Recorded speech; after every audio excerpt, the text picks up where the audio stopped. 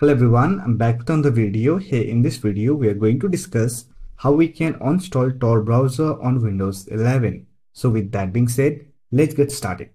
On Windows 11 to install any application, we simply search for the application, right click on it, and here we have install option. Simply click on it and here click on install. Or else you can simply visit settings application, click on apps, then click on install apps and here we simply search for the application then click on this three dot icon and click on install. However, this method will not work if you want to install Tor browser from your system. For that, we have to delete the Tor browser folder. Simply visit the installation location where you have installed Tor browser. In my case, I have installed Tor browser on desktop. That's why on my desktop, I have Tor browser folder.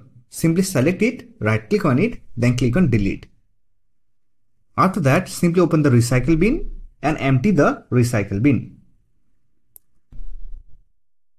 As we have deleted the Tor browser folder, this shortcut will not work.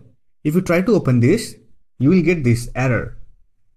Do you want to delete this shortcut? Here simply click on yes and the Tor browser will be installed from your system. So that's it for this video. Hope this video was helpful to you. If you found this video helpful, don't forget to hit that like button and subscribe the channel for more videos like this. Bye for now, see you next video.